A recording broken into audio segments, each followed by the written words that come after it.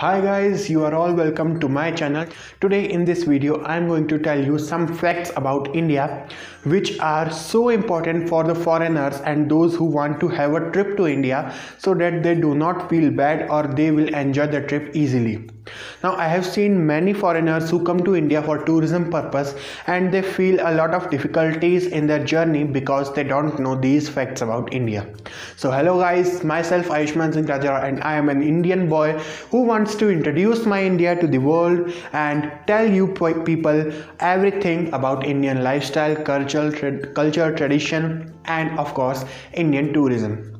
So let's start with the video. But before starting, I would like to tell you that previous video of mine was the video related to the biggest festival in India that is the Indian Deepavali. If you have not yet watched that video then you can also take time to watch that video. That's also an awesome video. So I will be providing you the link in the description and also you can click the cards or you can refer to the end screen for that video. So let's start with today's topic. So guys, today I'm going to tell you some facts about India so that you will not feel difficulties while traveling in India and while enjoying Indian tourism. So I will tell you many points today. Let's start with those points. Number 1. Really very cheap rates for everything. Everything in India costs very little. For example, traveling for 4 kilometers in a taxi can be a little expensive outside India but it is really so casual in India that we don't even mind traveling in a taxi and every Indian travels in the taxi every day and India taxis are different kinds. In your country, I don't know much about your country, but in your country, I have seen that there are a little variety. I think uh, uh, cabs they can be cabs they can be cars anything okay. But in india there are various kinds of taxi systems taxi services and those taxi services cost you differently.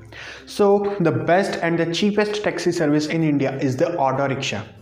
You can travel in an auto rickshaw at just 10 rupees per uh, i think per 2 to 3 kilometers. Definitely these rates apply for different cities differently. But in my city if i talk about my city and many cities like mine you will have to pay just rupees 10 for 4 to 5 kilometers of taxiing in an auto rickshaw. So now what is rupees 10 indian rupees 10 is very less than a dollar. One dollar costs 75 rupees 75 indian rupees around 75 the rates may change anytime but it's around 75 and one dollar is very big than a rupee. So in india if you will have to pay less than a dollar for traveling for 4 to 5 kilometers how will it feel so please tell me in the comment box.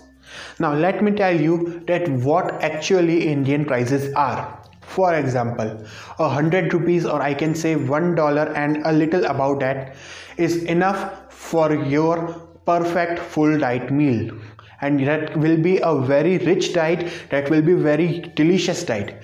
I mean 100 indian rupees will give you an awesome diet in a restaurant obviously there are many kinds of different rates and different food items available in india and the variety of food is too much. But first point was that that everything in india is really cheap. And if anyone asks you more money than what is actually being asked to the indians then you must definitely oppose this action. So india is really really low rate system okay india indian people do not feel too much difficulty because everything every service every uh, material in india every item is cheap uh, while comparing with your countries. Now the next point. The next point about india is that indian traffic.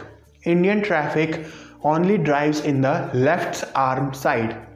In your country in us america many countries you drive in the right arm side. Okay you drive on the right side of the road but you can drive on left side in india and you have to drive on left side in india. In india wherever people want to go they always drive on the left arm side. So that's a massive change in the indian traffic. Okay. Now one more thing.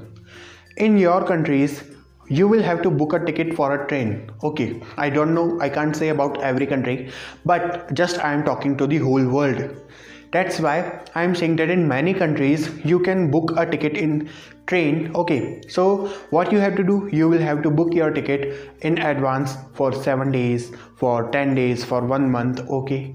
So in india if you want to book your train you can book even 2 or 4 hours before.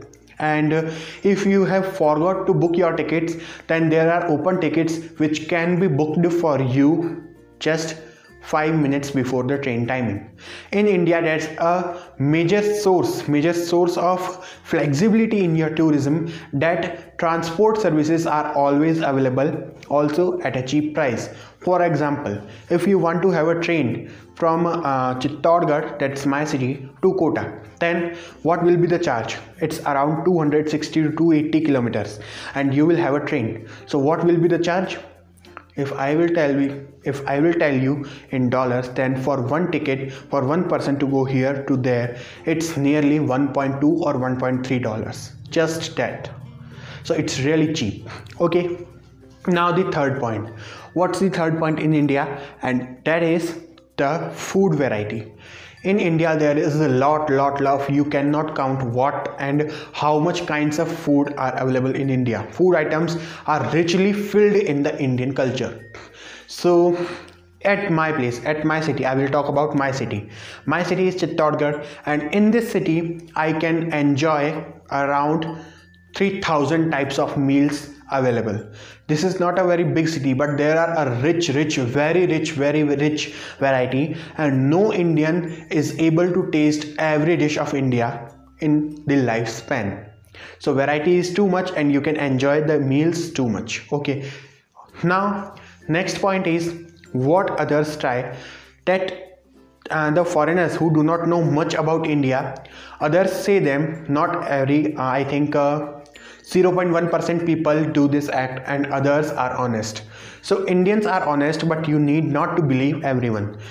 Many people do in India that the foreigners who do not know about the ratings in India they tell that for 5 to 6 kilometers you will have to pay 100 rupees 150 rupees 200 rupees instead of 10 rupees 5 rupees and that's really a massive crime you will have to oppose it but before committing any action you must have to confirm that what are the rates what is the distance and what is accurate. It may be possible that someone is genuine and telling you the truth but you think that he is charging you excessively. Many people charge foreigners excessively in india but not everyone. Indians are honest okay? So you will have to be safe from this. This is robbery it's not for only transport for staying for food for anything anything. To enjoy in india you will have to pay very less. But people sometimes tell you very expensive rates so that they can earn a lot of profit. You will have to be safe from that. Okay. Now one more point that is really really helpful for you. In your countries i can't say about many countries but majority of countries what they have uh, you can catch a metro and just reach to your destination.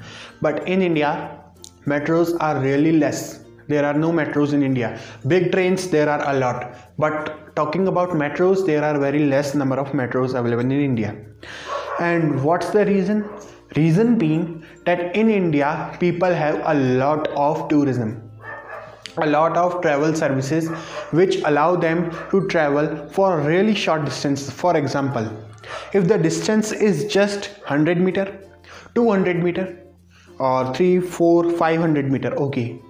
Even the distance is 50 meters then you will prefer walking and reaching to your destination but in india many people i will not say everyone but many people also book cabs also use the auto rickshaw also book expensive cabs for such short distances because first of all it's really cheap rate.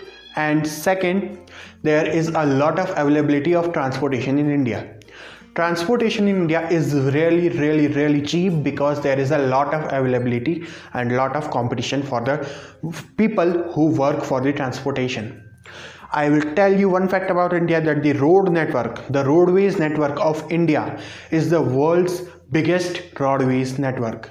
Means the number of roads in India is the maximum number a country can have in number of roads.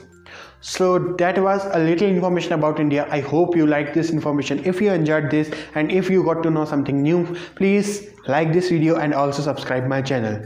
Also you will be getting many other kinds of videos. Like this was a face cam video which in which i told you something about india. And not just telling you something is not sufficient. So i will be showing you much more about india. Okay. So by watching my videos you will understand how to survive in india and really easily. Okay? So keep watching. I'm confident. You are confident. Then subscribe. Thanks for watching this video. Please subscribe and goodbye